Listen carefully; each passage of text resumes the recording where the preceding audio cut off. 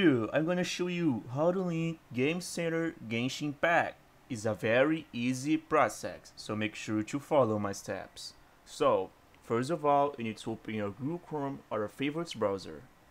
Now you'll be able to see the Google page and you can see the search bar right here. You can click the search bar and search for a link from Game Center and you click to search for it.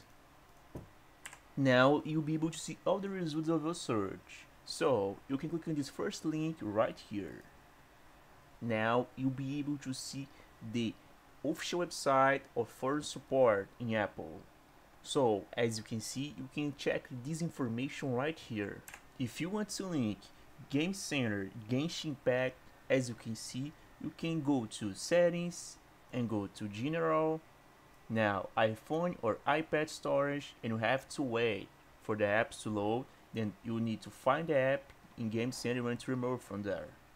In this case, is the Genshin Impact 1. So, you need to swipe the app to the left and tap to delete the app.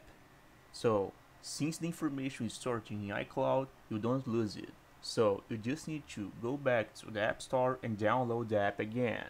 So, you need to install and update with update itself with the information that was stored in iCloud. So, until the moment I record this video, that's the only way to do that. I hope I helped you in to link Game Center Genshin Impact. If this video helped you, please make sure to leave a like and subscribe for more useful tips. Thank you for watching.